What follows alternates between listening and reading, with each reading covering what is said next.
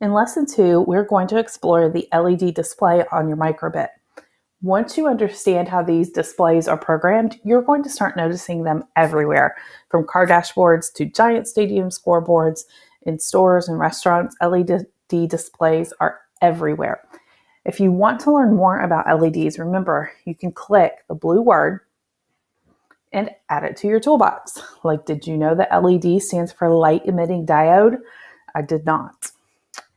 In this project, we're going to do lots of little mini projects from showing a sequence of images on a display, changing the animation speed, displaying text message strings, crunching numbers with a calculator, and programming a push button fast click game. In order to get started, we need to create a new file. Do this every time you start a new program by clicking File and New. If you don't, you're going to lose all of your previous work. So first click File, and then new. Now it's called Untitled Program, but we need to name it something descriptive like display. Remember that these files are now in the root folder of your Google Drive. The first step is always to import the microbit library. From microbit, import star.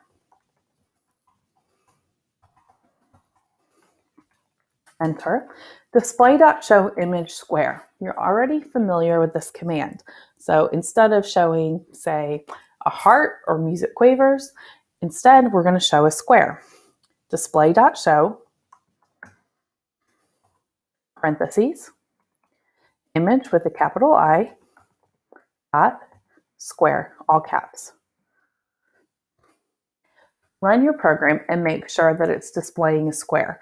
If it's not, debug. If it is, move on to the next step. Now we're going to display two images, but heads up, the code below may not do what you expect. On line one, we have import. On line two, we have image square. And on line three, we're going to add image happy. So hit enter, display.show, parentheses, image with a capital I, dot, happy in all caps. Now, before you run your program, let's see what you think the code should do. So look at the test your knowledge question. What do you expect the code to do? Show the images for about one second each. Mm, that seems plausible.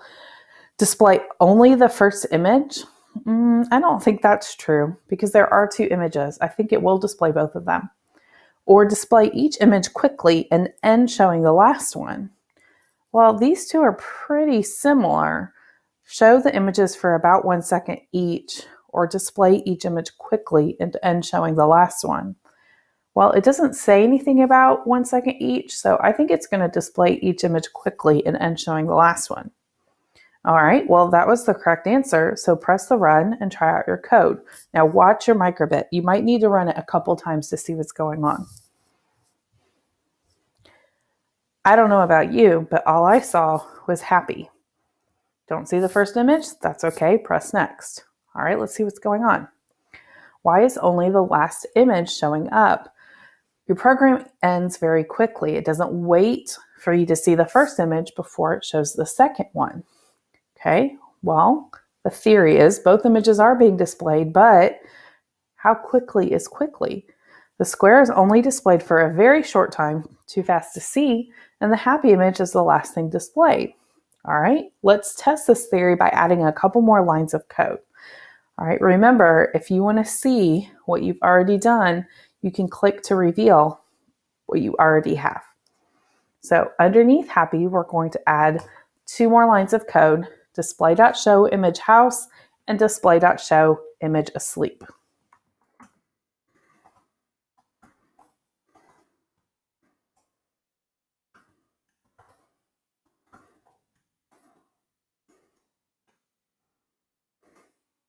Now press the run button to try out your new code and watch your microbit. Did the program end quickly with the display showing the last image? All I see is asleep. I didn't see the first three. I guess quickly means really quickly. So let's look at this step by step. If you watch this little video, you will see that if we step into each line of code, it does show all of them. If the computer has to wait to execute the code until I click step into, then it slows it down enough that I can see each one. So these images here show how it works.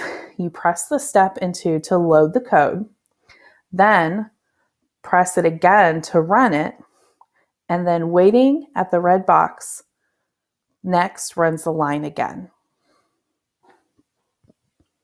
All right, now it's your turn. Click next. And you're going to use the debugger. Show me how to step. The step button loads the code into the microbit and waits on the first line.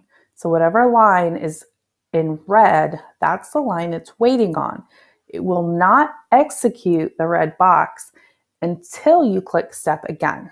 So you're going to do this, stepping through your code one line at a time while watching your microbit to see if it's showing all of the images. So go ahead and pause while you do that.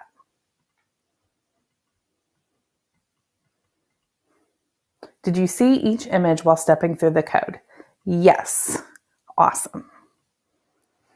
Now we need to slow it down so that we can see it.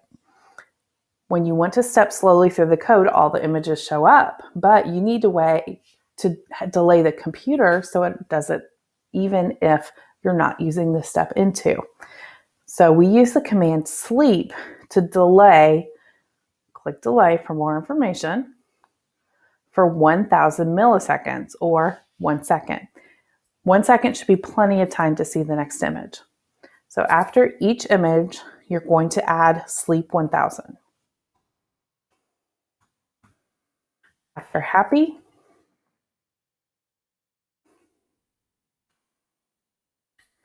and after house.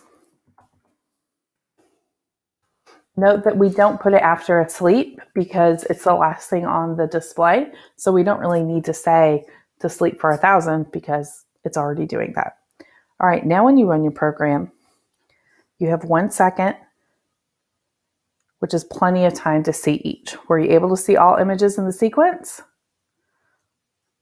Excellent.